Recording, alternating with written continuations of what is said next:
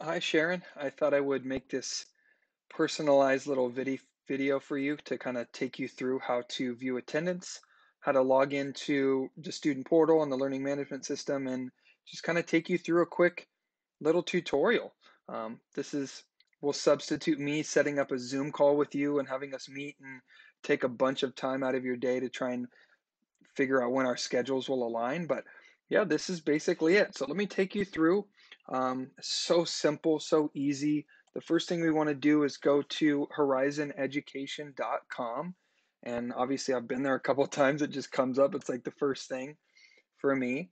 And you can do this in your spare time. You could pause the video if you wanted to um, and kind of do it in your own time.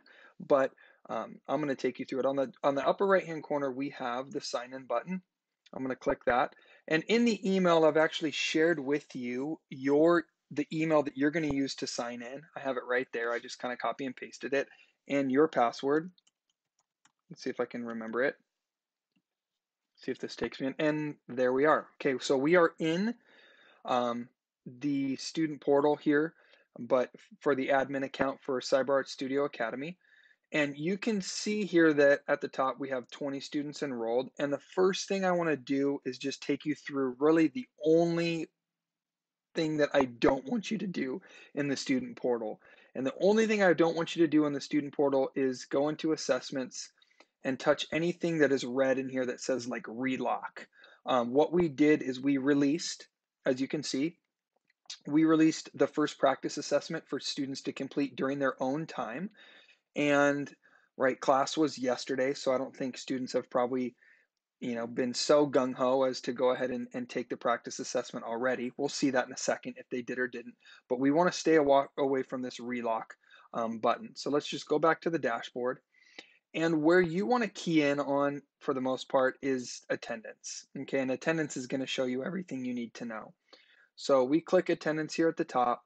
We come down to view attendance and that's going to show us everything here. We have 20 students enrolled and these are our classes, class one, class two, class three, and class four.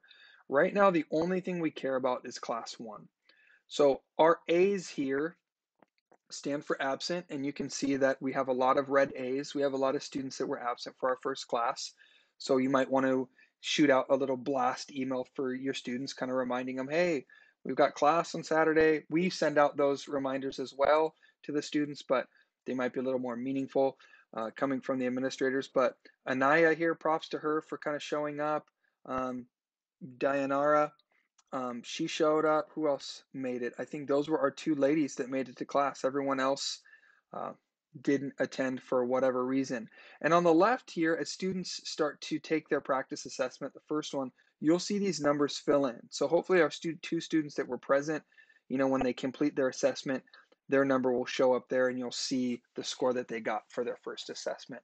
And that's pretty much it for you. The one other thing I want to show you is if you want to keep some of the attendance records for yourself, you have the opportunity to click export report and um, it you know it exports it and you can have that report for yourself. You can open it, save it, but it'll come as a spreadsheet.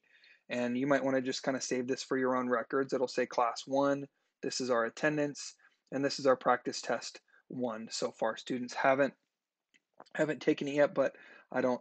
I'm not mad at them for that. They have an entire week um, to finish up before next week, and that is pretty much a short, concise breakdown, custom for you, um, on how to access your attendance and look at student scores for uh, for the practice assessments.